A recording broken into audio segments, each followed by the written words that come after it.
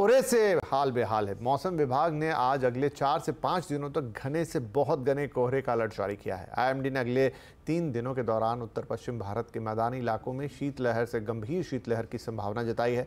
पंजाब, हरियाणा, चंडीगढ़, दिल्ली, उत्तर प्रदेश, उत्तरी मध्य प्रदेश के अधिकांश हिस्सों राजस्थान और बिहार के कुछ हिस्से इस वक्त भीषण ठंड की चपेट में हैं। घने कोहरे के कारण रेल यातायात भी प्रभावित हो रहा है। कई ट्रेनें देरी से चल रही हैं। दिल्ली रेलवे स्टेशन का हाल बता रहे हैं हमारे संवाददाता रोहन सिंह।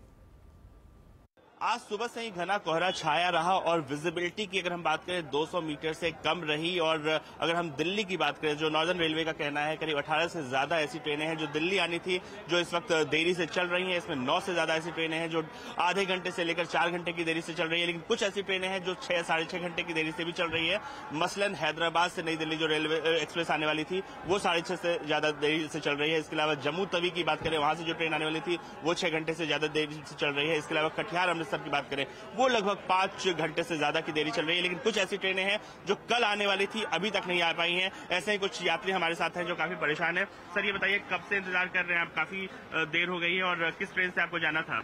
हमको जाना था संडे को कल हाँ। भुवनेश्वर राजधानी में जो कि कल शाम को पाँच बजे थी लेकिन वो आई नहीं अभी तक। हम्म। हम कल सुबह मतलब शाम को पाँच बजे से लेकर अभी तक इंतज़ार कर रहे हैं तेईस घंटा लेट चल रहा है। अच्छा अभी कितना बता रहा है कब आने की संभावना अभी तो बोले चार बजे आने की संभावना है लेकिन वो भी पता नहीं। पता नहीं तो गारंटी नहीं है। स्टेशन के सामने ही है। हाँ स्टेशन के सामने ही है इंतज़ार कर रहे हैं। तो इतनी लंबी लंबी इंतज़ार लोगों को करना पड़ रहा है कुछ और लोग हैं ये बताइए कि आपको कहाँ जाना था? कितना देर से इंतज़ार कर रहे हैं पानीपत जाना था सर। हाँ। दो घंटे से वेट कर रहे हैं। तो दो घंटे से वेट कर रहे हैं। तो ऐसे कई सारे यात्री हैं जो आपको रेलवे स्टेशन के सामने इस वक्त यहाँ पे मिल जाएगा। कारण ये है कि जो है ट्रेन जो आनी थी वो समय से नहीं आ रही। हालाँकि रेलवे ने एडवाइजरी ज़रूर जारी की है। उनका ये कहना है कि यात्री जो है आने से पहले पता कर ले समय का। लेकिन जो है फिर भी देरी से काफ़ी लोगों को काफ़ी दिक्कतों का सामना करना पड़ रहा है। कुछ जो फॉक्स सेफ्टी डिवाइसेज लगाने की जो बात हो रही है, वो अभी प्रोसेस में है, लेकिन उसका बहुत ज़्यादा इम्पैक्ट इस वक्त देखने को नहीं मिल रहा है, क्योंकि ट्रेनें जो है अभी भी देरी से चल रही है। रोहन सिंह दिल्ली। तो ये तो हुई बात रेलवे की। इधर दिल्ली एयरपोर्ट पर कई यात्री परेशान दिखे। जायजा लिया संवाददाता आलोक प्रियदर्शी ने। घने कोहरे की वजह से लगातार फ़्लाइट डिले हो रही है। इस वजह से जो दिल्ली का टर्मिनल थ्री एयरपोर्ट है या फिर जो बाकी दो एयरपोर्ट्स हैं वहाँ पहुँचने वाले मुसाफिर काफ़ी परेशान हो रहे हैं। आ, इस वक्त मैं हूँ दिल्ली के टी थ्री टर्मिनल के अराइवल पर। आप यहाँ पर कल, कल रात से ही काफ़ी यात्रियों को परेशानी हो रही है क्योंकि लगातार फ्लाइट्स डिले हुई हैं। अभी तक लगभग डेढ़ सौ के आसपास फ़्लाइट यहाँ पर डिले हो चुकी हैं कुल मिलाकर। इसमें 25-30 इंटरनेशनल फ्लाइट्स हैं और बाकी डोमेस्टिक फ्लाइट्स हैं। कल रात को ही यहाँ पर एक टोरेंटो से एयर इंडिया की फ़्लाइट आई थी, उसको अहमदाबाद जाना था। कनेक्टिंग फ़्लाइट कैंसिल होने की वजह से यात्रियों ने काफ़ी यहाँ पर जमकर हंगामा काटा। लोगों, उनको किसी तरह से समझा बुझाकर जो फ़्लाइट के स्टाफ थे, उनको एयरपोर्ट ले गए होटल ले गए हैं।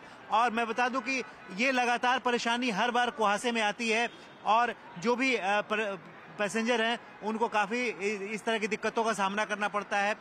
बार बार यात्रियों की यही शिकायत होती है कि उन्हें एयरलाइंस की तरफ़ से सही सूचना नहीं दी जाती है, साथ ही साथ उनके साथ रूट बिहेवियर किया जाता है और उनको ठहरने या खाने पीने का इंतज़ाम नहीं होता है। लिहाजा यहाँ पर कई सारी इंटरनेशनल फ्लाइट्स भी आप देख सकते हैं डिस्प्ले पर बहुत सारी लगभग डिलेज हैं या फिर कैंसिल हो चुकी हैं और यात्रियों को कम से कम दो से लेकर दस घंटे, बारह, पंद्रह घंटे तक यहाँ पर स्टैंडर्ड होना पड़ रहा है। और ये आलम है, जब लगातार कहा जाता है कि जो दिल्ली एयरपोर्ट है विश्व स्तरीय एयरपोर्ट है, यहाँ पर सारी व्यवस्था है, T ILS instrument landing system लगा हुआ है। बावजूद इसके घने कोहरे के आगे किसी की नहीं चल रही है।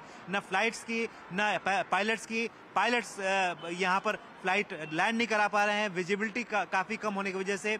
और इसकी वजह से जो हवाई यात्रा करने वाले मुसाफिर हैं उनको लगातार परेशानी झेलनी पड़ रही है। कैमरा मैन अखिलेश वर्मा के साथ आलोक प्रियदर्शी सीएनबीसी आवाज़ दिल्ली।